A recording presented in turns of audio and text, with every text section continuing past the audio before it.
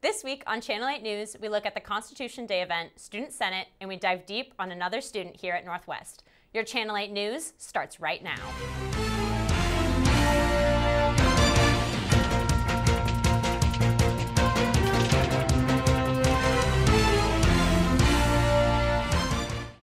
Thanks for tuning in to Channel 8 News, the show where we provide the latest news coverage on the Northwest Missouri State University campus and in the Maryville community. I'm Dillon Davis. And I'm Jillian McNamara. Before we get into this week's stories, be sure to like, subscribe, and hit that notification bell for all the latest news and updates. The month of September is Hispanic Heritage Month. Throughout the month, the Office of Diversity and Inclusion held events to commemorate Hispanic heritage. The last event being held was a screening of the movie Mi Familia, a movie about one family migrating to California and the hardships they encounter. This screening was followed by a discussion about the movie. In other news, this past Monday, September 18th, was Constitution Day. Volk held a Constitution Day event, including trivia and other events. Jacob Mustard reports. Northwest Missouri State University hosted a gathering to celebrate Constitution Day. The Department of Humanities and Social Sciences put on this event every year for students to come and learn something new. Well, we have trivia, we have snacks, and we have a genuine love and interest in expanding our knowledge of the Constitution. So, who doesn't want that? Dr. Bronson Herrera has some insight on why they created this event and are happy to host it. So actually, a state mandated. We, we have uh, the state uh, requires that we do this as part of our funding. However, I enjoy the event and want to be a part of it because I do care that students have an understanding of the Constitution and, uh, and, and, and to know how the government's formed and how it functions. At this event, participants gathered into groups to compete in trivia as well as answering a hypothetical question to start the night. Water and snacks were provided for students to grab when they entered or throughout the event as needed. The prizes for winning trivia, besides the knowledge you gain, were some nice Northwest mugs and pins. Here's an example of one of the trivia questions that was presented to students, and you have an opportunity to play along. We will give you five seconds to make your guess wherever you are watching from. Time's up. The answer was C, a majority of the House. The Constitution is important, but don't just take my word. This is what Dr. Marilis Castberg Leonard had to say.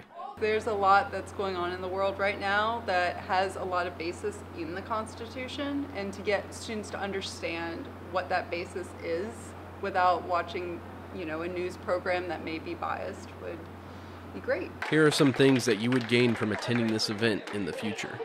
I want them to realize that learning can be fun and interactive is one thing. Uh, and, and, most importantly, that they have a constitution and that it impacts their day to day, whether they realize it or not. And whether it's direct or not, sometimes it's indirect. After the trivia concluded, the battle was finally over, and the winning group was handed out their prizes. Everyone was able to grab some snacks for the road as they headed home, which wraps up the coverage of the Constitution Day event. For the stories that matter to you, I'm Jacob Mustard with Channel 8 News. This event not only informs students about the importance of the Constitution, but gives them the opportunity to test their knowledge on the Constitution. In other news, Northwest has moved up on the ranking of schools in the Midwest. Northwest ranks 22nd best school in the Midwest, which is a 13 rank improvement from last year, where Northwest was ranked 35th. The ranking puts Northwest at number three from schools in Missouri, trailing behind UCM and Truman State University. When we return, we'll be diving deep into a student's life here on campus. You're watching Channel 8 News on KNWT.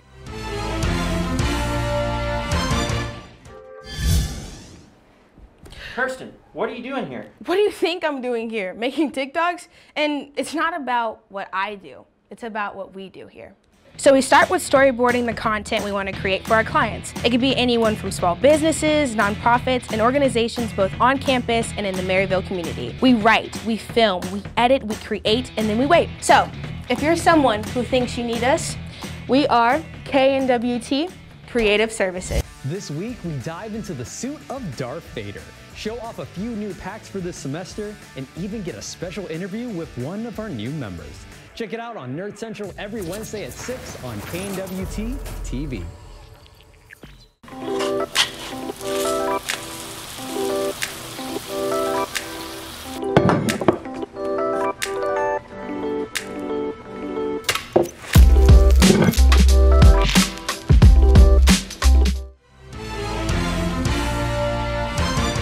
Welcome back to Channel 8 News, the show for all things Northwest.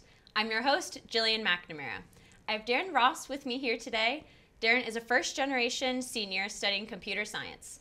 Daren is a very involved student on campus and may be a familiar face to some.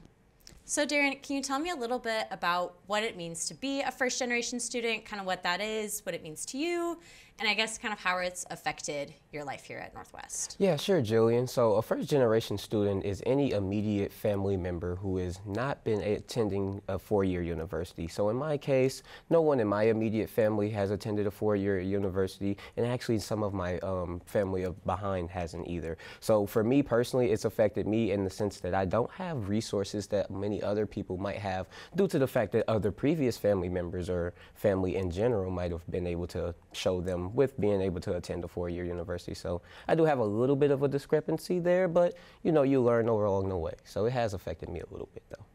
So your name is little known around campus. Mm-hmm. Can you tell us um, what organizations you're a part of? Oh my! So I'm a part of uh, Minority Men's Organization. I'm actually the president of that organization. I'm a part of the 101st Student Senate um, body as the inclusion chair, and I'm also a, a member of TRIO, Student Support Services, um, Black Student Union, African Student Union, International Student um, Organization um, or African Student Organization, I'm apologize, and um, International Student Organization, and just a heap of other things, honestly, that I'm not technically considered a member of, but I attend plenty of the events. Oh gosh, well, it sounds like you stay pretty busy. Um, and you mentioned being president of Minority Men's Organization. Yeah. So how do you balance being president um, of MMO and your school life?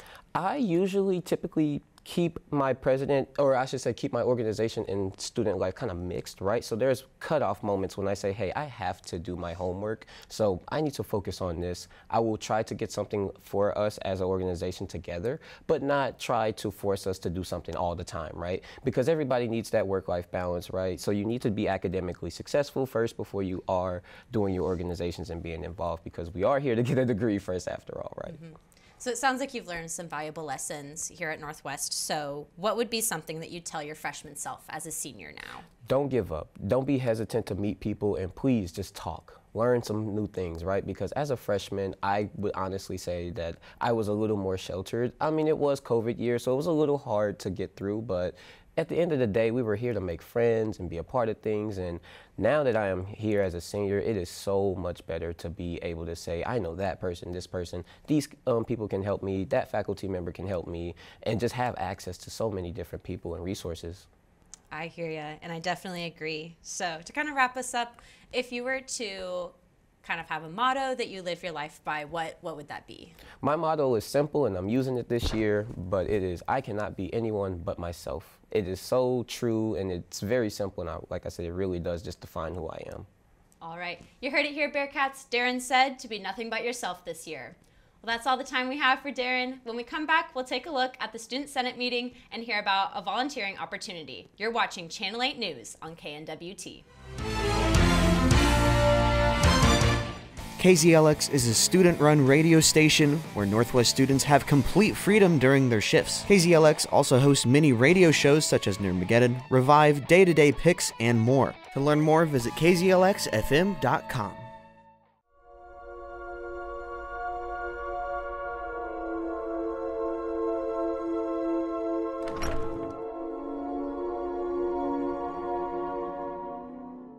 Hello, and welcome to Gen 2 your favorite place for all things gaming and rarely tech related.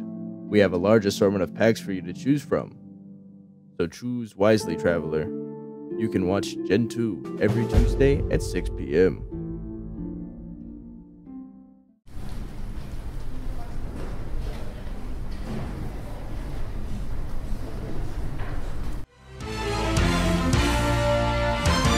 Welcome back to Channel 8 News. Student Senate is a student government organization here at Northwest. They hold their weekly meetings every Tuesday. Dominick Ocampo takes a look at this week's meeting.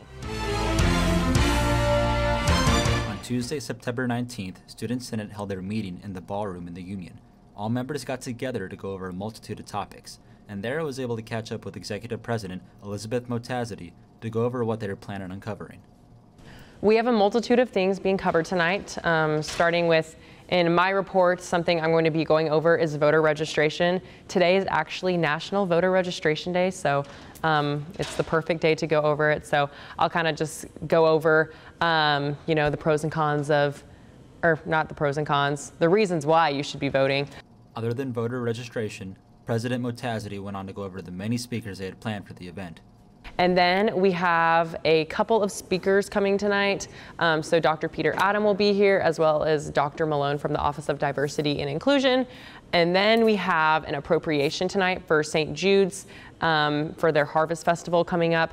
And then we have a new organization coming in. I believe it's it's F sale or it's for it's for future future students or students who want to have a future in student affairs, and they're coming um, tonight to seek interest in becoming an official organization on campus. Dr. Malone and fellow ODI speakers held a big chunk of the Senate meeting's duration. President Motazedi went on to explain why exactly they were present at this meeting in our bylaws, we do require um, that we have like diversity and inclusion trainings um, happening every semester.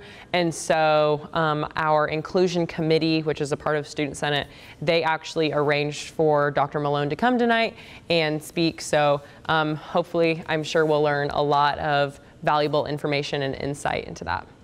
The other big presentation that was given on this night was by St. Jude's. They were present to go over their upcoming event.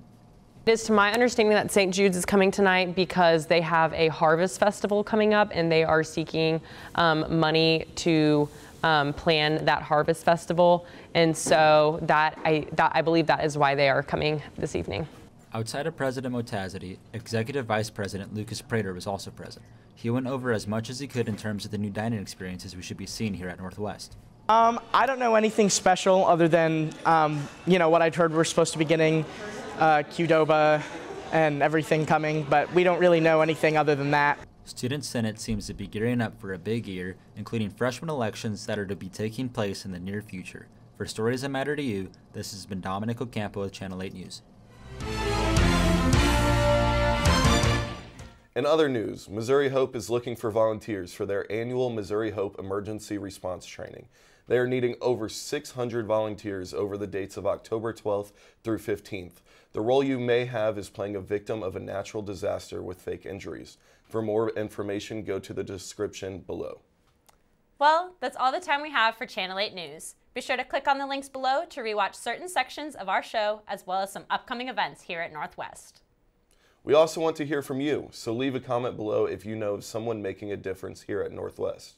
And be sure to like, subscribe, and hit that notification bell for the latest news and updates, as well as other content on our YouTube page at KNWT TV. For the stories that matter to you, this has been Channel 8 News. Thanks for watching.